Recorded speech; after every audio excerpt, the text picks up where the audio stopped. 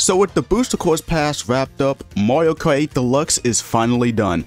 With that being said, I'm going to be ranking all 48 DLC courses in the game. There are going to be 5 tiers to this list. The shit tier are tracks that I despise the most. The weak sauce tier are tracks that I think are either lame or just not good. The decent tier are tracks I think are okay but still lacking. The rad tier are tracks that I consider good or amazing. And finally, the goated tier, where these tracks are what I consider the best in my opinion. I'm telling you all right now, you're going to hate the placements of some of these tracks, but that's what makes it fun. So let's jump right into it. Athens Dash, more like Athens Trash. This track can sometimes get confusing. There's too much turning to do and overall it just doesn't appeal to me. Moonview Highway is a track that I felt highly disappointed in.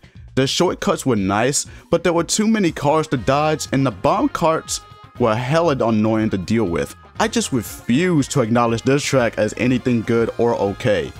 Why the hell would they bring this track back? There was nothing good or fun about Sunset Wilds. Like Athens Dash, this track has too much turning, but it's even worse here. And the giant Shy Guys aren't helping much, it's just not a good track. Koopa Cape Mullet Koopa Cope is by far the worst DLC track I've ever played. Once again, there's just too much turning to do. If you screw up once during the waterfall section, you're gonna ram into the rocks ahead. The underwater pipe section sucks too. I can't begin to tell you how much I didn't like the turning in there as well. Now you're probably noticing that all four of these tracks are from Wave 5. Let me break it down for you all. In my opinion, Wave 5 is easily the worst wave in the Booster Course Pass. The other four tracks are good, but these four tracks really bring it down heavily.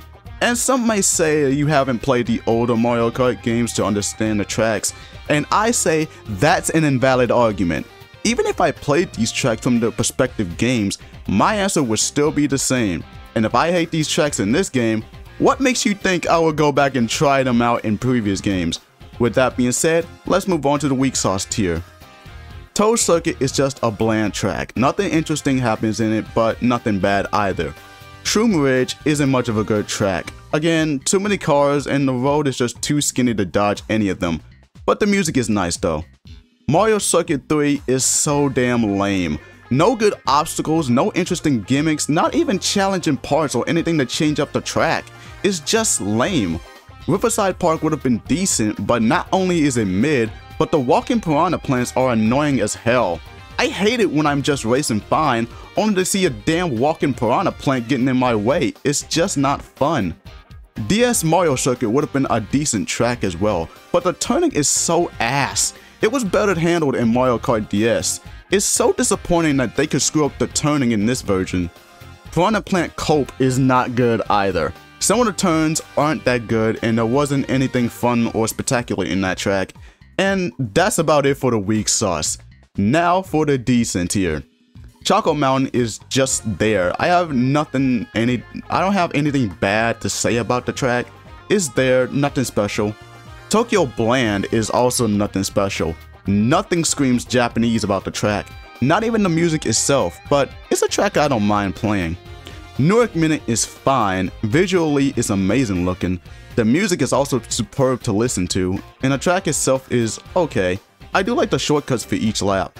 I don't mind Snowland that much, but the penguins can be annoying and I don't like the moving item boxes at all.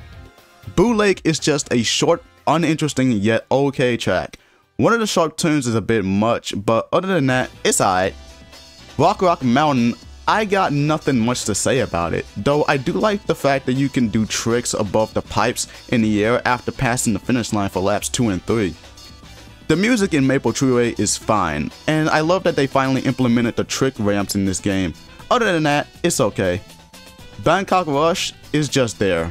I didn't like it at first, but now I think it's an okay track. Nothing much interesting to say about it. Yoshi's Island is easily the worst of the three new tracks, yes, I say three, but it's still decent. The Shy Guys on the stilts can be annoying when you're trying to avoid them, and trying to activate the second path at the end of each lap can be tricky, but it's still not a bad track. I didn't like the turning in DK Mountain, but everything else is fine. Even the music is good too. And now, we are on to the rad tier. These are the tracks that I think are very good and fun to play with. I can see why people like Coconut Mall so much. It's really fun, from doing tricks at the end of the escalators to the shortcuts and the moving Shy Guys. This track is awesome. Ninja Hideaway, this one definitely screams Japanese. This is much better than Tokyo Bland. The music is phenomenal and the amount of different tracks is really cool. Calamari Desert is also good too. The music may be mid, but I like the aspect of the train coming during the second and third laps, and the shortcuts are just wild. Sydney Sprint is quite the lovely track there, mate. I love the music there, and the lap transitions are very good to race through. Mushroom Gorge is very fun, mainly because of the bouncing mushrooms you can do tricks off of. It's really fun in order to do in my opinion. London Loop rocks, just like the music itself. It's so awesome to listen to. The turns are so wide and cool to do, giving many opportunities to do shortcuts. And visually, it's pretty nice.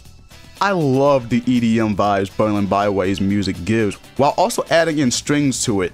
Even though there's so many cars to dodge, it doesn't feel as frustrating as Moonview Highway or Shroom Ridge. It adds a good amount of challenge. I like Amsterdam Drift. It's not that spectacular and it doesn't have any challenging moments, but it's still a very comfortable track I can race on. The amount of tricks you can do in DK Summit is just awesome as Excitebike Arena. I love it so much. The music in Waluigi Stadium sucks. Sonically, it's not good, but the track itself still slaps. It has a good amount of trick ramps and obstacles to avoid. Singapore Speedway has an amazing music track. Both versions of it is awesome to listen to. Visually, the tracks look so gorgeous, and the lap transitions are nice as well. Squeaky Clean Sprint is a squeaky clean track. The musical score in this track is very good. The track itself is like a bathroom version of Ribbon Road, but in a good way. I even like the amount of shortcuts it has. Los Angeles Laps is a very fun track with lots of good moments, like when you're flying across the baseball stadium, and just visually it's wonderful to look at. And the music is very nice and groovy. I enjoyed this track as much as I did in Mario Kart Tour. Vancouver Velocity is a fun track to race on. I love doing laps 2 and 3 when you're driving through the ice skating ring, and once again, the music slaps. I got nothing much to say about Rome Avanti, other than the music being beautiful to listen to, it's a fun track, but I'll need some more time on this one. Nothing bad or average about it though. The same can be said about Madrid Drive, except one good thing I will say other than the music is how nice and sharp the turns can be. Bowser Castles 3 is easily the most challenging track I've ever played in this DLC and it's fucking awesome. The amount of challenging tricks to do, the amazing sharp turns, and for a track this short in terms of length, it does its job well. With that being said, we now move on to the goated tier. Paris Promenade just screams Paris so much. The Eiffel Tower is such a sweet aspect to see when driving on the track. I love how the third lap has you driving in reverse this time. It's such a fun spectacle. And the music track is so lovely to listen to. This track is so damn awesome. Sky Garden has a fun remix to the music track. It has two good shortcuts, and overall, I just have a lot of fun racing on that track. Merry Mountain is the perfect track for Christmas, from the Christmas train to driving on the train tracks, and it has a good amount of shortcuts as well. I even like the music too. Daisy Circuit is a fun, short track to race on. I absolutely adore the statues of Daisy and Luigi, and once again, the music slaps a lot. Rosalina's Ice World is such a magical wonderland. The ice physics in the track are much better than Snowlands. The underwater sections kind of reminds me of The Little Mermaid in a way, and visually it looks very beautiful. I've been wanting Wii Rainbow Road to make its way to the Booster Course Pass to try it out for the first time, and I'm so glad it's there. It's by far the most colorful Rainbow Road I've ever played. It's got a good amount of challenge, and the fact that it's the final track for the Booster Course Pass really ends the DLC with a bang. And that about does it for the Goated tier. You're probably asking where the rest of the DLC tracks. Glad you asked, because these 5 tracks definitely deserve his own tier. And it's the bias tier.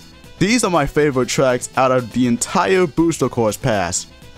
Waluigi Pinball is so awesome to race on, from the music to the moving pinballs to the glider section and the pinball game itself. This is just as fun as Pinball Highway from Sonic and Sega All-Stars Racing, which by the way, I did a review on that game, you can go check it out on the top right card. Sky-High Sundae was the first original track to be made for 8 Deluxe before making its way to Tour. and it definitely made its way sky high to this tier. Okay, I know, I know that was bad, but I just still. From the ice cream bars to the ice cream shops, I love doing tricks off the wafers, and driving on different flavors of ice cream makes it a fantastic frozen treat to race on. Peach Gardens is a track I had so many memories with in Mario Kart DS. It's still a fun track to race on, but what makes it stand out from the DS and Tour versions is that like Paris Promenade, you'll be racing in reverse in the final lap. That is such an amazing switch up. Daisy's Cruiser is very fun. I've been wanting to race on that track ever since I saw RDC World 1's videos on Mario Kart Double Dash. What really does it for me is the music. I just love the bass melody of that music track. The racetrack itself is very fun to race on. I'm just happy to race on Daisy themed courses in general. Finally, we have 3DS Rainbow Road. This is by far my number one favorite track in the entirety of Mario Kart 8 Deluxe. While not as colorful as Wii Rainbow Road, it still has a lot of amazing details. You'll be driving around Neptune and Jupiter in the first lap, then you'll be driving on Saturn's ring, and then onto the moon, and the last lap has this colorful pipe for you to drive through. If you thought if you drive through the glider ramp, you'll have a much easier time than doing the tricks below. This track is phenomenal. Even the music is awesome to listen to. 3DS Rainbow Road is not only my favorite track overall, but it's easily the best Rainbow Road I've ever played, and I've only played 6 of them. And that about does it for all the DLC tracks. I know some of these placements may piss some people off, but that's how I feel about these tracks. Regardless, I'm really glad Nintendo brought more life into this game, It's still selling well and has been a top selling game on the Nintendo Switch, but it was starting to get stale, which is why I'm happy to play all the DLC tracks. And the fact that it's almost half the price of the full game is a huge steal. I mean, 48 new tracks, 8 new characters, along with over 15 new Mii suits for 25 bucks? How could you not call that a sweet deal? This has really been a fun two-year experience, and if you want to check out my full playthrough of the DLC tracks along with the other tracks, the link, well, it will be in the top right corner, the whole playlist, so you can check that out. And I'm curious as to what they'll do for Mario Kart 9, but only time will tell. Now, as for the base tracks, that'll be for his own video. But if this video gets over 50 likes, which I highly doubt, then I might rank all the base tracks for Mario Kart 8 Deluxe. Let me know your favorite DLC tracks in the comment section. Until then, this is Star The Protagonist signing out, as always, Goki Genyo, and have a startastic day, everyone. If you enjoyed today's video, then be sure to like, comment, subscribe, and turn those notifications on to join the Star Nation. Also, be sure to follow my Twitter, and while you're at it, check out my previous video. Now.